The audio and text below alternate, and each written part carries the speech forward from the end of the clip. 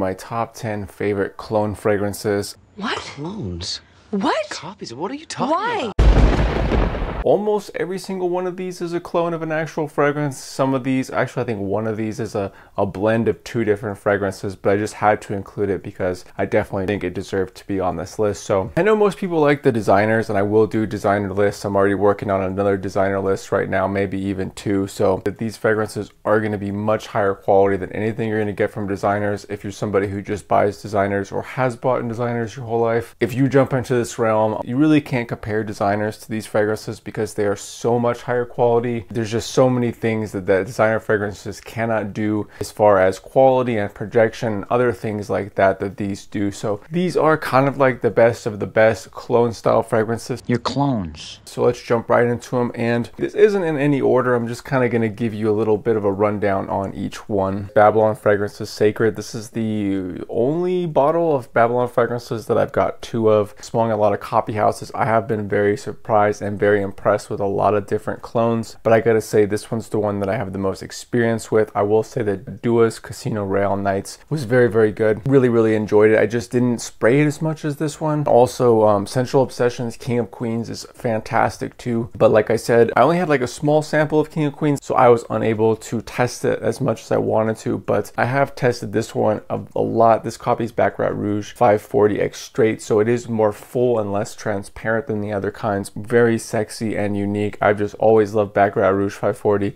Although it's not the best for every situation, Babylon Fragrances Sacred. Babylon Fragrances, the one. There's only three Babylons on this list, so it's not going to be Babylon dominant. Don't get too afraid. But the one is a fragrance that I'm really, really impressed with. There's so many good um, musky, fruity style fragrances, especially with these clone houses. I've tried Scentual Obsessions blend of Creed Aventus and Elysium, and that was very good. I've tried his version of Aventus Cologne. I've tried several kinds of Aventus, but for some reason, for my Sauvage Aventus style smell or my summertime style smell, I just really like Babylon fragrances. The one it to me smells a little bit like Sauvage, a little bit like Aventus. Two fragrances I absolutely love. Two really, really popular fragrances, and this uh, is really just gonna barely beat out any of the other musky free fragrances for me. But I will keep trying other fragrance houses, and if I do find another Elysium clone that I like better, I will shoot you onto it. And also, um, Elysium is supposed to not really last that long or not have insane longevity and projection. This one has slightly above average longevity and projection. I would say it's pretty solid. I wouldn't say it's beast mode, but I wouldn't say it's light. So I wouldn't, you don't really have to worry about this fragrance being too light. I like it a lot. Babylon Fragrance is the one. Number three, Scentual Obsessions Lime in the Sky. Now this smells like a blend, in my opinion, of Baccarat Rouge 540 and Virgin Island Water. I also have his Virgin Island Water right here as well. I really like both these. If you wanted that classic classic tropical Virgin Island water style smell. Get his copy of Virgin Island water. It's so, so good. It was hard for me to not really put it in this list, so I kind of wanted to mention it with Lime in the Sky because I do feel like Lime in the Sky. It's just so, so similar, and I do like the uniqueness that you get with this one. A little bit of that lime, but a little bit of that cloudiness from Baccarat Rouge 540 or Ariana Grande's Cloud. I, either one of those, but I really, really do enjoy it. One of my absolute highest recommended from Scentual Obsessions. I actually, I think I did uh, my own video review of just this fragrance and not in a group because I liked it so much. So Lime in the Sky, number three. This one always seems to make my list whenever it is uh, applicable. This is Dapper Fragrances Layton. Now I do want to say I have smelled a lot of good Layton clones. I really liked Alexandria's version of Layton. I just tried Scentual Obsessions version of Layton and I really, really liked that one as well.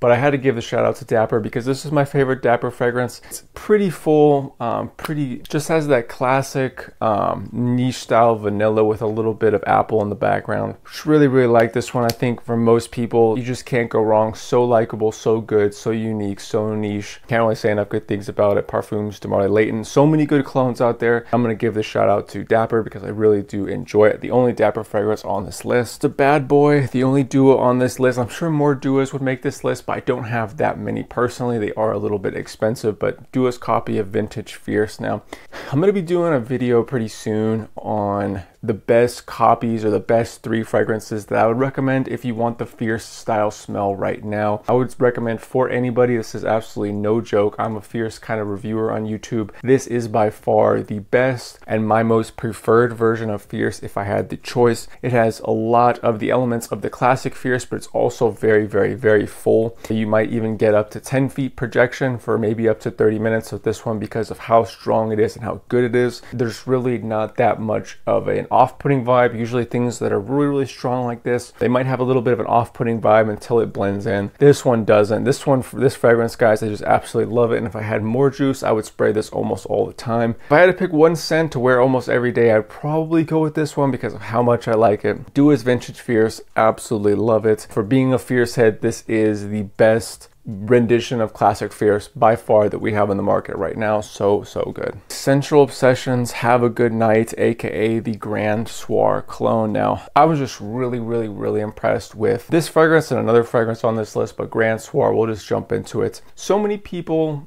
like likable fragrances. They like fragrances with a little spicy sweetness done right. This fragrance really hits everything on the head. It smells so good, so classic, so spicy, so likable, so niche. This is just one of those fragrances that's really likable, really sexy. If somebody were to smell this, I don't think anybody would think it's challenging. It just smells good. Even if you're not really into the overly sweet style smells, it's just hard not to re- like respect what this fragrance does. This is absolutely one of my favorites. This is from Scentual Obsessions, more of his private line, his more expensive line, but for a good reason. This stuff is so, so good. For a date night or trying to be sexy or being in the fall, this is absolutely one of the best. Have a good night, the Grand Soir clone. Tag teaming with Grand Soir is another one on his private blend, which is a little bit more expensive, but I had to include it and I was gonna blend these two, but these two are so good, I'm going to include them both with their own individual entry, and that is Three Rivers, which is his Parfums de Marly Carlisle clone. Carlisle kicks really, really strong. The original Carlisle kicks very, very strong. These two fragrances are actually pretty similar, but also kind of different at the same time.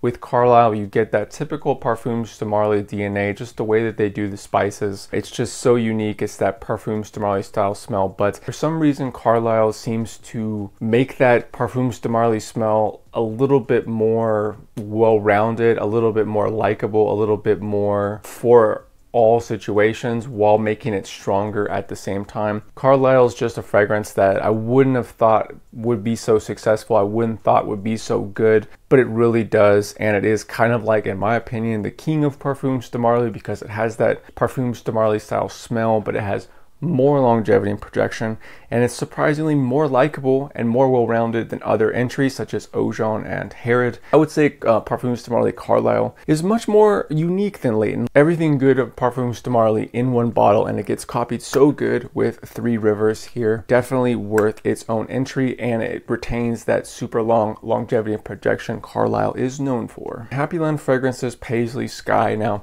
I don't know if this is copying any other fragrance. This is one of the only fragrances I've ever smelled that has this particular kind of smell. Every time that I smell it, I just really, really like it. It's kind of got this unique blend of, of florals, but it's surprisingly like sexy and transparent. It really hit the nail on the head with the Paisley Sky. It has this psychedelic kind of feel, this unusually likable, hippie almost style feel. It's very hard for me to describe, but it is very likable. It does have like a hippie vibe, but for some reason when I think of hippie vibe, I think of kind of like challenging, thick notes for some reason, but this is really smooth, very sexy, and just very different and good, almost unisex too. I really, really, really enjoy Paisley Sky ever since I first reviewed it, and I would say it's my favorite Happy Land fragrance for me personally. This is the only fragrance that I don't have a bottle for, and it is a Happy Land fragrance, so I'm just gonna turn around the Paisley Sky. I just tried this fragrance again recently. I don't know where I put it since I've come back, but this is Happy Land Fragrances Rhyolite. We're using the Paisley Sky bottle, but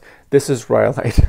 Rhyolite. Sweet, gourmandy, different style fragrances. If you look up the notes in Rhyolite, each one is just a very delicious sounding, pretty much dessert. So good for the sweetness. One of my favorites from Happyland. And it's surprisingly unique. Surprisingly unique while having this very likable, sweet gourmand style smell. Absolutely loved it. I just tried it again. One of the best sweet fragrances. I would say I'd probably prefer Grand Soir and Carlisle just by a hair, but at the same time, I've always liked Rhyolite. It's, it's one of my favorites of all time from Happyland Fragrance. Not as good as Paisley Sky in my opinion, but so, so good. Definitely worth the recommendation here, especially because I haven't smelled anything that smells like it. Happyland Fragrances Rhyolite. The last one, I almost forgot about this one and put like a Tuxedo clone in there. I will say I do really like uh, the fragrance of Tuxedo and all the clones that I have smelled are very, very good, but this fragrance really has to beat it out because it is one of the strongest but best fragrances that I own, and that is, sorry for the cover, but Tobacco Rojo by Babylon Fragrances. I've said this in a lot of my other videos. When I got the fragrance, it came like this, and this is probably the strongest fragrance that I own. Very sweet,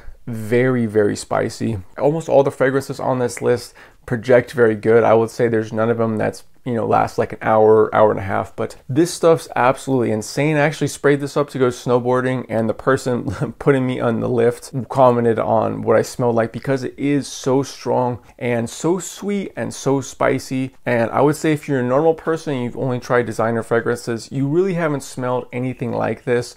And it's so sweet and so spicy, it almost wants to be too much, but it's just blended so well at the same time. It really is kind of hard for it to be overpowering. The only time I would say if you spray a lot of this and go right into a tiny room or a tiny car, it is going to be a bit too strong. I wouldn't recommend doing that, but it has this niche quality to it. It has this smoothness to it, although it is so strong. And if you're somebody who wants something spicy, sweet, and the absolute maximum projection that you could possibly get, I would go with Tobacco Rojo. It's absolutely one of my favorites. If I had to pick one for strongest projecting winter fragrance, I would go with Tobacco Rojo. Anyways, guys, these have been my favorite 10 clones from the clone houses. Everything but Lime in the Sky is a clone of something else. I'll be very interested to see what kind of fragrances you try out. What other DNAs should I go for? I usually go over go for DNAs I've already smelled before. So is there another unique DNA that I should go for that might break this list? I'll be very interested to see. We're on the road to 25,000 subscribers and I couldn't do without any of you guys' help. You guys are the best. I'm having a great day out here. Hopefully having a great day at home. See you all in the next video. Peace.